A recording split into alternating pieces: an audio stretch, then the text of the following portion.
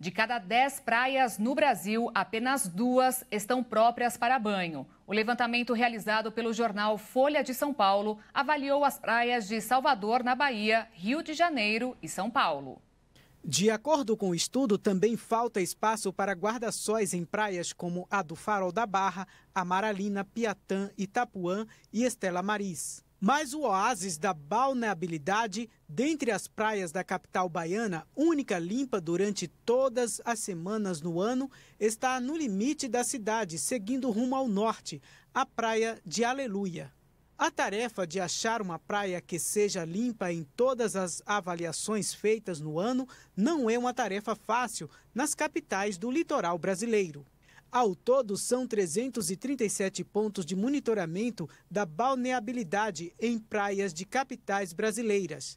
Deste total, apenas 47 ou 14% foram consideradas boas, ou seja, estiveram limpas o ano todo. Por outro lado, a soma das praias consideradas ruins ou péssimas no cômputo anual chega a 48% do total. Outras 31% foram classificadas como regulares, por estarem próprias em mais da metade das medições.